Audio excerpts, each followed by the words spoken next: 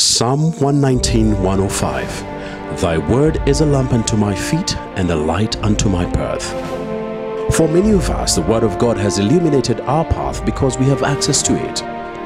But there are still many more within us who walk in darkness because the Word of God has not yet reached them, and more so in a language that they understand. Bible translation and literacy's mandate is to translate God's Word into the small language groups of Kenya.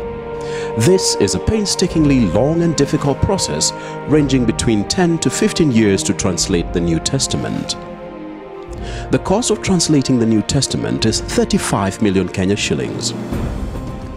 BTL has over the last 26 years successfully translated the New Testament into eight different Kenyan languages and will soon launch the first complete full translation, the Sabaot Bible, this June. BTL and Hope FM invite you to be a part of our journey by joining us on the 10th of March 2012 for our annual Run for the Bibleless.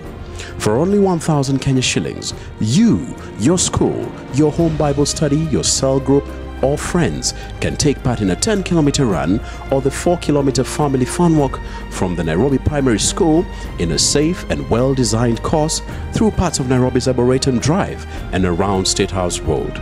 Register today and receive a free t-shirt. Come and be a part of what the Lord is doing.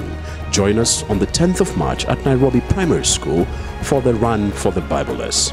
For more information on how to participate, contact us on 0712 292 684 or 0735 333 065 or info at btlkenya.org.